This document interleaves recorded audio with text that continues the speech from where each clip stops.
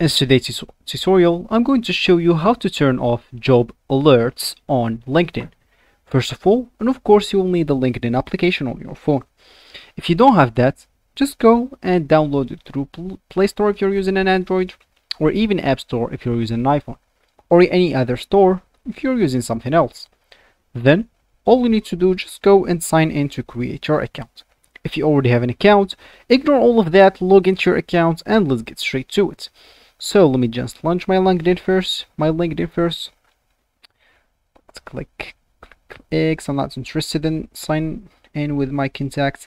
Anyway, so if you're using maybe a PC, you'll find the communication at the top left section. So you'll find the communication section there. Just click on that and turn off your job alerts. If you're using a phone, of course, like me, all you need to do is just go to your icon and click on that. It's at the top left. And here, all you need to do is just go and click add settings. It's at the bottom here. Here, all we need to look for is, as we said, communication.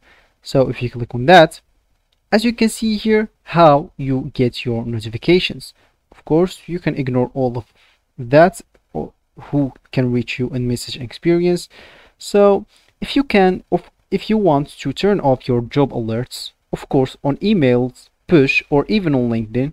So let's go first on linkedin. As you can see here we have an option called jobs. If you have that on that means you will get job alerts. But if you do have that off you will not get any job alerts. Of course sorry it's the same on email. If you go here at jobs if you turn that off like me here you will not get any jobs notification or job alert if you go to the push as well you'll find here the jobs as well. And all you need to do is just turn it off and you will be all done. Now you'll no, you will have no longer job alerts and you will be all done. So that will be for the video guys. I hope you like it. Thanks for watching and goodbye